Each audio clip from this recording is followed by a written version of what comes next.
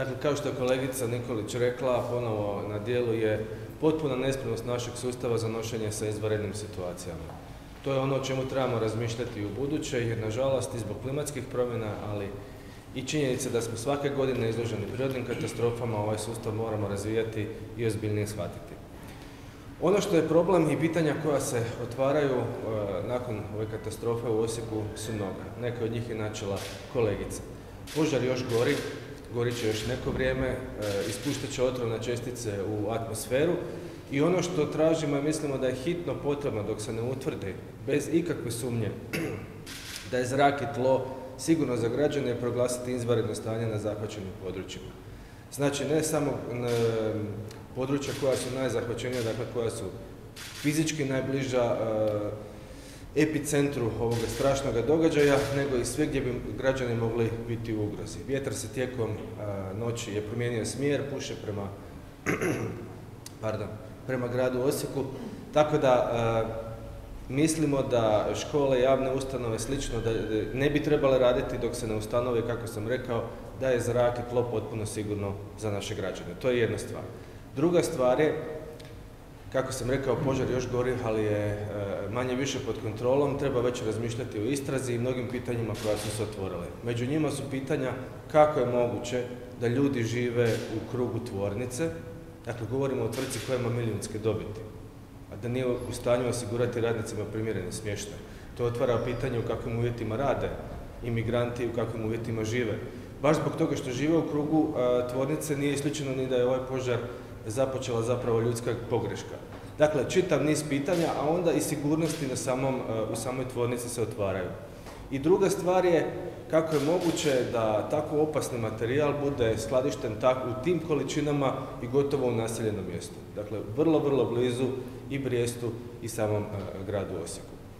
Očito je da su neke stvari shvaćene olako, očito je da se neke dozvole izdavaju ne baš promišljeno i ne do kraja i krajnje je vrijeme da i vlada počne razmišljati o sigurnosti naših građana, o poštivanju i provođenju zakona, da se ovakve katastrofe više nikad ne dogode.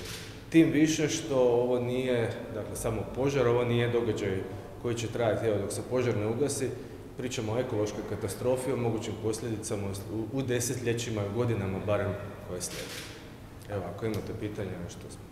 Vlasnik te tvrtke kaže da je radio po zakonu, dakle ta količina plastike koja je bila tamo je sve prema dozvolama i kako tumačite da u cijeloj ovoj ekološkoj katastrofi nije reagirao fond za zaštitu okoliša? Pa ne, ulazeći dakle u, to je li netko kriv ili nije, ja samo tražim istragu koja to treba pokazati. Jesu li, e, je li to skladišteno kako treba, je li to sukladno zakonu, jesu li izdane sve potrebne dozvole, a onda i kako je požar nastao.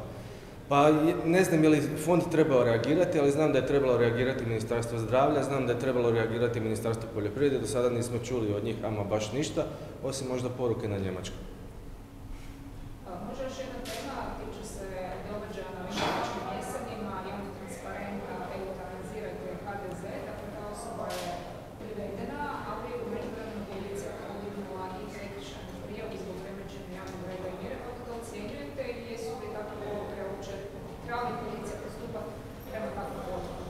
Pa ovako, ja ne bih, inače ne podržavam takav diskurs u javnosti, no mogu shvatiti frustriranost e, seljaka i ja bih ovo tumačio ne kao poziv na linč i slično, nego bih tumačio kao legitiman izraz nezadovoljstva.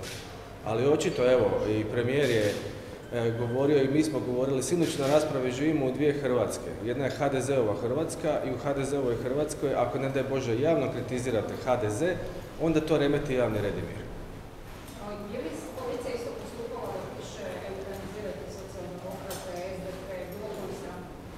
Pa to je dobro pitanje. Da sam zločest, rekao bih da ne bi, ali nisam zločest pa to neću reći.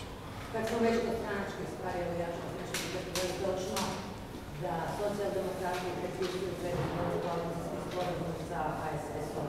Već u subotu. Dakle, znači ćete, znati ćete u subotu, ono što vam ja u ovom trenutku mogu reći da e, mi kao socijaldemokrati radimo na okupljanju jednog šireg fronta koji će građanima ponuditi program progresivne centrističko lijeve e, koalicije koja zaista može e, e, nuditi bolje sutra građanima. Ko će nam se sve pridružiti u međuvremenu, to ćemo vidjeti, ali prvi koji nam se pridružuje možda baš je stranka koju ste spomenuli.